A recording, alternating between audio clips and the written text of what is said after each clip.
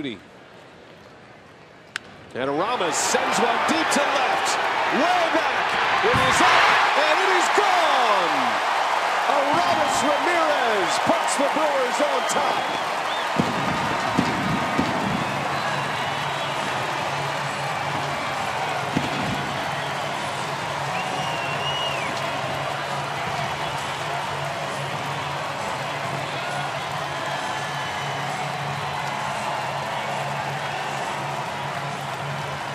Ramirez with home run number six.